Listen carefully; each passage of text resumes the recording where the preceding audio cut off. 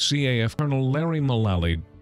As a member of the U.S. Navy, Larry Mullaly served his country flying the RA-5C Vigilante off-aircraft carriers and was a commander during the Vietnam War.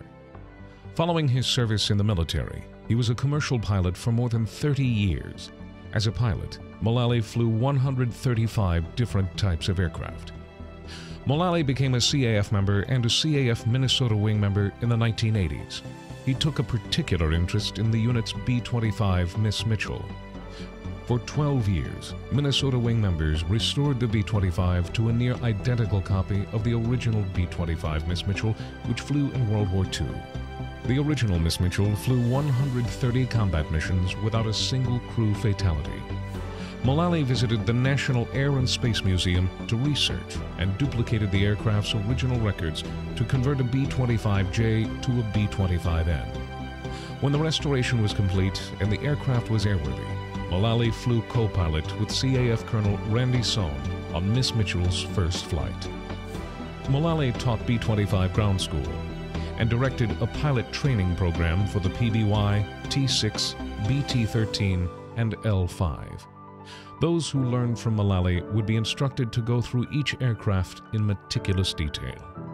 He set high standards for pilots, but he expected no more of them than he expected and practiced himself.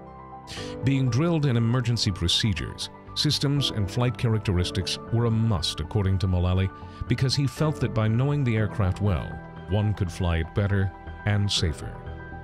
Mullaly insisted on safety because he truly cared about his crew. His piloting skills led him to train pilots in many aircraft in the warbird community. He was a highly regarded pilot and was often called upon to test fly aircraft after maintenance. He was instrumental in acquiring both PBYs in the CAF fleet and was also a member of Airbase Arizona, Trayron, and the B-29, B-24 squadron. Mullaly believed in and lived the mission of the CAF.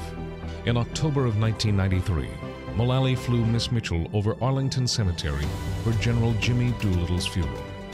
Throughout his service with the CAF, Colonel Mullaly demonstrated his dedication to CAF and his love of aviation in many ways as a pilot, teacher, and a friend to those who knew him.